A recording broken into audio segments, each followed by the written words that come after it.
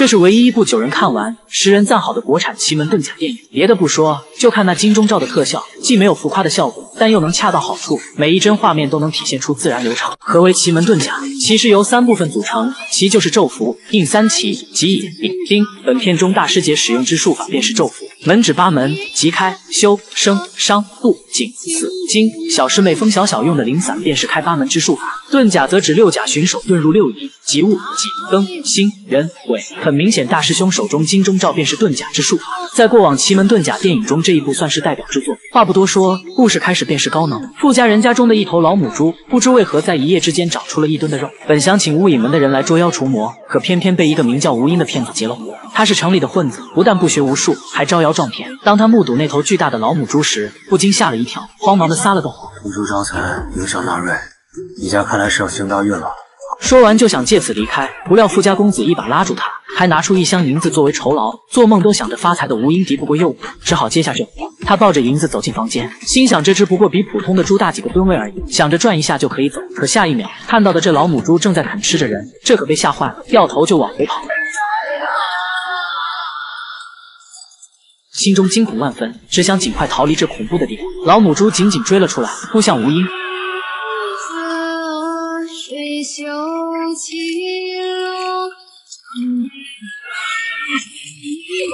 可不知为何，当老母猪生吞吴英后，突然身体爆炸，接着一团像珠粪的东西掉落在他身上，还不停的在挪动，瞬间周围引来一群虫妖，样子极为恐怖，人头虫身，还长着锋利的爪子。见此况，他顾不上这坨异物，连忙拔腿就跑，不料没跑出多远就被妖物割喉。眼看这吴英快不行了，可这坨异物慢慢融进了他的体内，这东西不是别的，就是各方都想争夺的太岁，能使人起死回生的宝物。没过多久，他便复活了过来。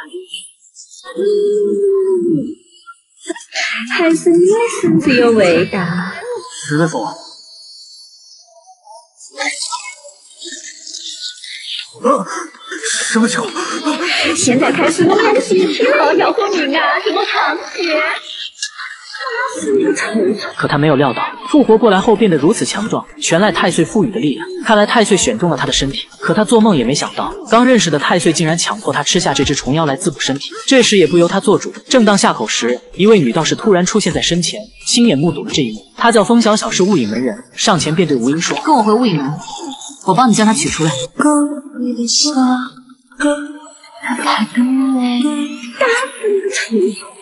原来老爹强行把下葬多年的爷爷挖了出来，硬要一家四口一起吃饭。可男孩却慌得一匹，生性胆怯的他突然觉得爹妈不认识了。老妈不但死死地盯着他，脸上还不停露出阴森森的笑容。他再也受不了了。爹妈之所以这么怪异，都是因为虫妖侵占了他们的身体。男孩夺门而出，拼命地向外跑去。没等他跑出多远，还是被爹妈前后围住，样子像两只野兽在捕猎。关键时刻，一把灵伞从天而降，像几个蜘蛛大螃蟹似的，猛然罩住了老爹。而老妈一根箭似的冲向儿子，突然一只大手抓住他的头颅，猛力撞向大树。原来是一名道士和一把蜘蛛似的灵伞分别与妖物。斗法，经过一番大乱斗，没过多久，妖物便化为灰烬，变成毒虫，一散而去。这时才看清，出手相救的是一名女道士，她叫风小小，是雾隐门的小师妹。还没等她缓过神，成群的毒虫再次攻向她，她使出灵伞勉强抵挡住。幸好这时从周围飞出无数道符咒。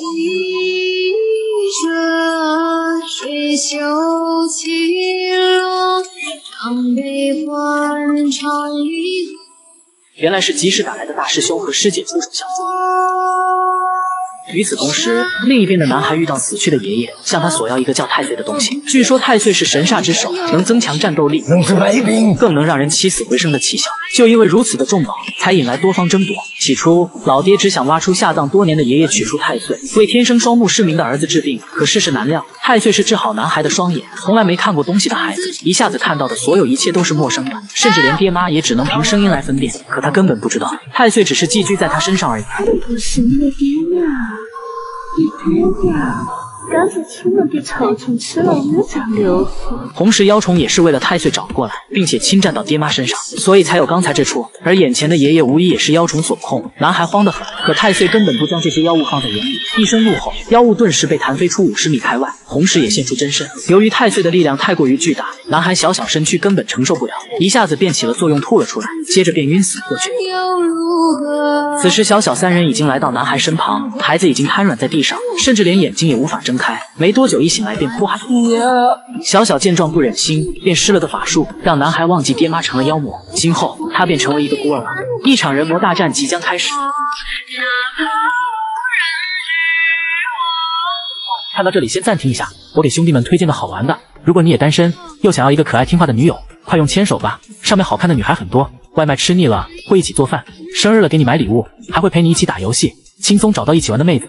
大表哥花了不到两周就交到对象了，你们也点评论区试试吧。这是一个凡人会变成妖魔的年代，表面上看似太平盛世，实际却妖魔纵横。凡人无心劳作，每日浑浑噩噩，满脑子都想着升官发财，而妖物以抢夺凡人身体为目的，藏于大街小巷每个角落，伺机而行。幸好有这么一群道士，他们修炼奇门遁甲之术，以斩妖除魔为己任。他们大隐于市，往往藏于熙熙攘攘的普通人群之中，有些化身乞丐，有些做着最底层的苦力，甚至是街头上表演的戏法艺人，目的只为了守护一方的太平。一旦发现妖魔鬼怪有异动，他们便以雾隐门人的身份出现，维护正义。因为雾隐门得知太岁重现世间，引来各路妖魔争夺，为了还世人一个太平，他们务必出手夺回太岁。可这宝物也太有个性，行踪无定，难以捉摸。他们多次行动都扑了个空，这次也同样被他逃跑了。自从吴英意外得到太岁的加持，人生便是开了挂式，不但不死不灭，更是力量大增。平时不敢做的事，有了太岁的加持，直接把钱庄的金银洗劫一空，掉头便带着上百斤重的金子来到了青楼。哪来那么多钱？你说这次钱够不够数？青楼里的女人从来没见过如此多的金子，大家都看呆了。要不是那傻丫头把你带回来，你烂在地里都没人知道。她只是为了帮这里的恩人赎身。我这儿出去的姑娘都得过好日子，别过两天又给我送回来。想好了就领走。不得不说，这里的老鸨确实是个好人。可他俩刚离开后，这里的老鸨可就惨了。原来吴英身上有那妖人想要的东西，这东西也是雾隐门一直被视为必取之物。趁吴英乐在其中时，风小小再次封印住太岁。就这样，吴英被带进了雾隐门的众人。年轻人，给你的地瓜好吃吗？师姐。要知道，雾隐门人个个身怀绝技，往往大隐于世。平日里的行脚苦力、戏法大师、云游道士都有可能，只有在妖魔祸乱人间的时候才会显露真身。如今五师兄妹齐聚此地，为的就是要取出吴英身上的太岁。但说也奇怪，普通人的身体难以承受太岁的能量，迟早会像那头老母猪一样爆炸而亡。但过了这么久，吴英居然没事。但凡事都有例外，除非吴英能用意识来控制太岁，为其所用。既然有办法可以不用取出太岁，吴英自然是乐意，因为他也感受到太岁给他带来的好处。加入你们，为守护这个世间做点什么。于是师兄弟几人一合计，既然吴英和太岁还挺合得来，而且这么久都没爆炸，况且师妹平时也是孤身一人作战，也是时候该有个伴。大家不谋而合也同意了。于是大家各走五行方位，准备为吴英解开太岁封印。这时风小小刚解开他的封印，就出情况了。对不起。幸好小小有灵嫂护身，紧接着师兄姐轮番攻击，都被他轻松躲过。接着大师兄使出金钟罩法器，一下子把吴英整个罩在里面。可不一会儿，他便脱离金钟罩。这时的法器好像对他毫无效果。原来太岁已经有了防备，看来是早有预谋。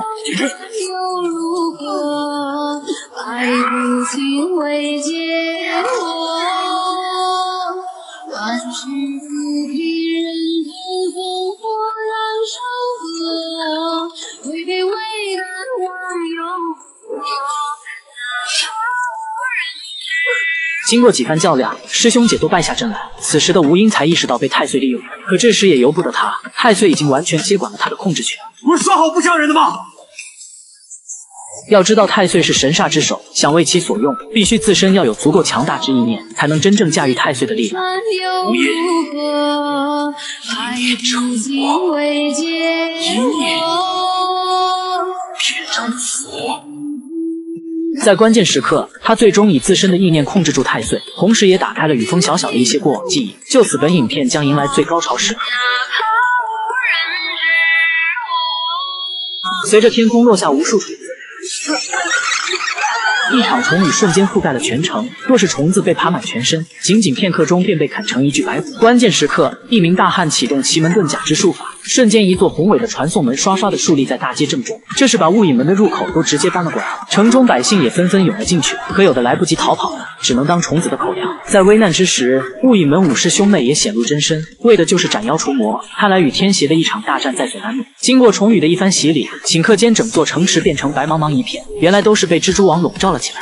早就告诉过你们，我会回来在这迷城的尸土上见你们的妖妖。怎么，你们还不信？天邪，三年前一战被你侥幸逃脱，今日无以门定不会再留后患。一场大战即将展开，众人各就各位。又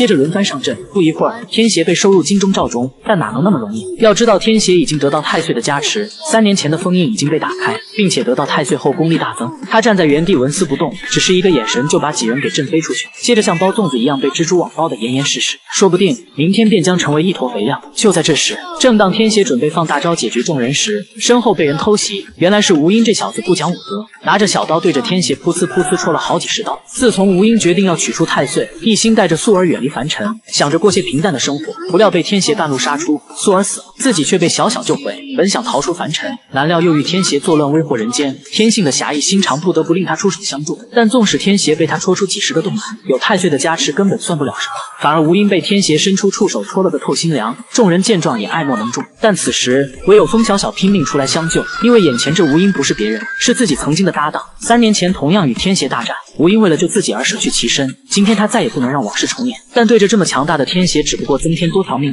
眼看风小小惨死当场，吴英不知为何突然开开窍，竟然想起了封存已久的记忆。回想起与风小小的过往，就是因为他吃了灵丸改造了身体，太岁才会把他当做最佳的宿主。所以在他濒临死亡之际，太岁的意识终于被唤醒，重新与他融合为一体。意识到太岁的叛变，这时的天邪才开始慌了。接下来便是吴英主导的时刻。经过一番惨无人道的暴打，天邪直接被打出了原形。他喷出坚韧的蛛丝想缠住吴英，结果却被对方牢牢抓在手中。去吧，当场就放起了风筝。这是一场毫无悬念的战斗。最后，天邪被雾隐门彻底封印住，而他们在解决完一切之后，同样操作把百姓当天的记忆全部抹去。因为雾隐门不需要世人知道，他们只会隐藏于世人的每个角落，默默地守护着一方太。